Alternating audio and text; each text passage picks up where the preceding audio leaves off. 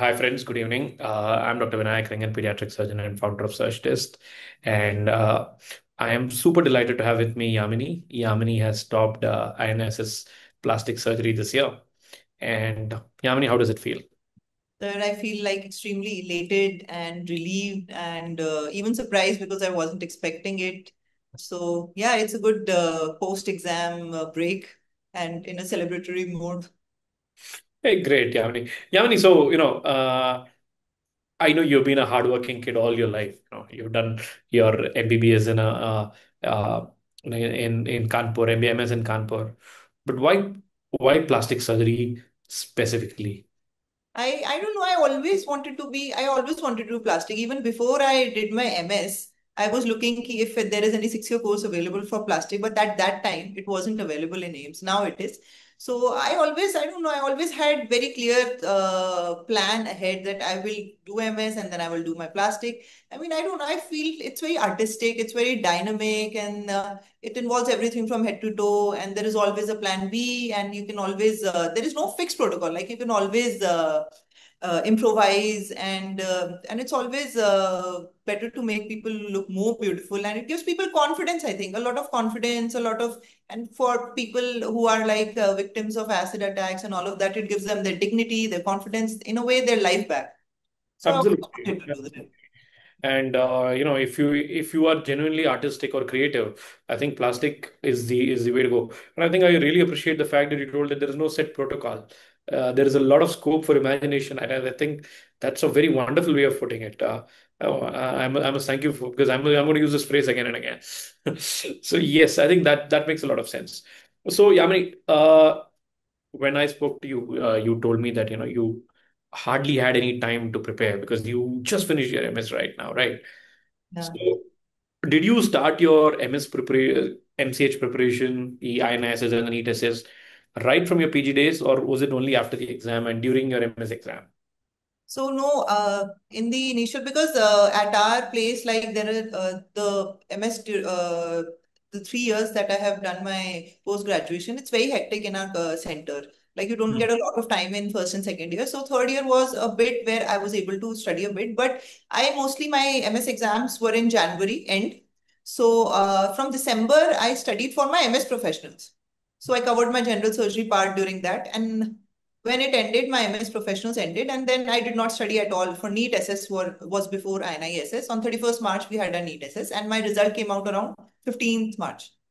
So my result was, and I was celebrating, it was good, and I was in the mode. And so I just gave NEET SS for the sake of just giving it. Post NEET SS is when I thought that um, now I really should start studying. And that's when I picked up. But my, I can say when I was studying for my MS, my general surgery was covered only because as it is 30 questions approximately out of 80, uh, general surgery only and the rest is plastic. So that part was uh, already covered. So I didn't have to work really hard because my general surgery was already strong.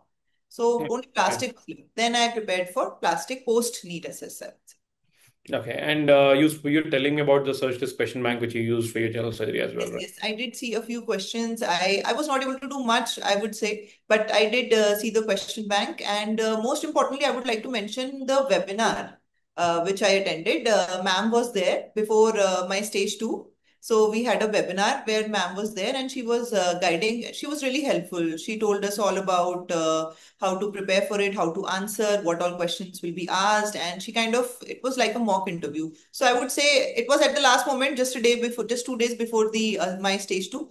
And uh, I didn't know the importance of it. I just joined it and then I saw everybody was there, almost all the rankers like 21 people who have qualified were there in that webinar and she was guiding everybody and it was sort of a mock it really helped me i would say. That's the best part. It makes it makes a lot of sense. Ah, Yamini. Yamini, so coming back to the uh, routine. So how did you manage to squeeze in time? Because it is not an easy exam to crack for sure. And there have been there have been people who have been studying for a pretty long time. So how did you how was your routine preparing for INISS um, within like 25 30 days were you able to study the entire material or you know? No no no not. I just first time what i did was i sorted out the important topics. I saw the i saw the previous year questions. I saw what all is like repeatedly being asked. So i listed out down those topics and i was like i have to at least complete these so i have to complete. So i completed those topics and the rest part which was left I saw some YouTube videos from various platforms and uh, even yours, QBank, I saw some. Uh, so here and there a bit, but mainly important topics I didn't leave. I covered all the important topics. Rest, which was less important, or which there were some topics which are not, I was not able to understand at all. So I was like, let's not waste time and keep on, keep on trying to understand it. Let's just move on. And so even if it will come, and anyways, nobody's going to get 100% right, right? And I think what uh, exam day skill is also very important it's very important to be in the zone and be calm and all of that. And how did you do that? I don't know. I was actually one important uh, thing I think was I already had a seat through NEET SS. So I was not like really worried. I was like, I'll attempt full. So I attempted 78 questions out of 80. So it's not like I knew all of them. Like I barely knew 60 or 50 and 18, 20. I just attempted because I knew that to really make an impact in this exam, I really have to score high. So I was not under a lot of pressure because I knew already had a seat. So this was like, but still I want to, everybody wants to be names, right? So I was like, no, but this is important. I have to give it a shot. So I attempted first of all, you have to like attempt really high. You have to go above 75 no matter what. If you'll attempt below 70, you already have lost your chance. Absolutely. I think that is a, that's a wonderful piece of advice. So if you're crack, if you want to crack INISS, which means that you will have to be in a position where you attempt more than 75 questions. I think that's a very, uh, you know. According to me, if you really want to, like, if you want to just qualify, that's different. But if you really want to pick a seat and make an impact of the rank, then you have to go above 70, 75. You have to be in that zone. You cannot be below 70 at any cost because other toppers will go till 70. I have attempted, I had attempted 80 and two were like, I said, okay, let's just not just leave one because there were many questions I did not know at all. I was trying to go by elimination. Okay, this option does not like, I was trying to intelligent guess, which they say. I was trying to hmm. do that. So, but okay, it worked for me now. Now I know that it was right to do it. It worked really well.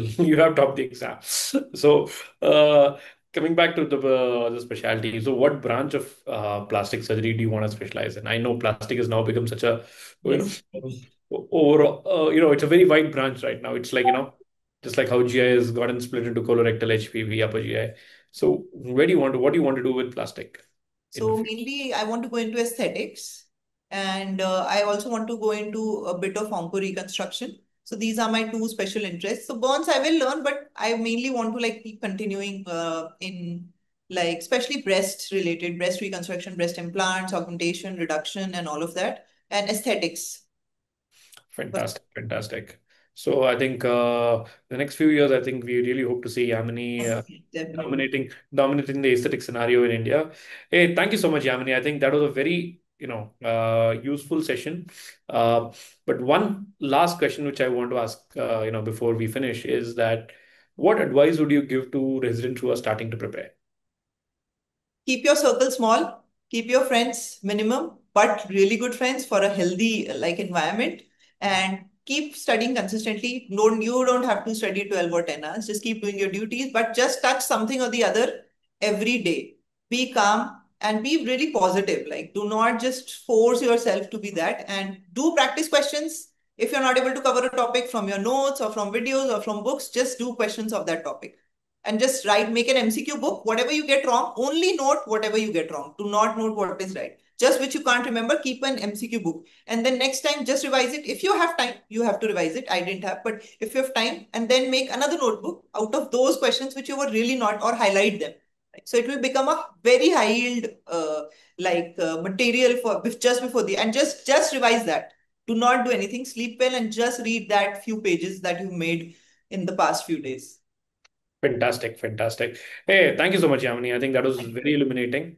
Uh, and I must really thank you for sparing the time to talk to us. And your advice is going to benefit a lot of students. So I think that's absolutely great. Thank you, sir.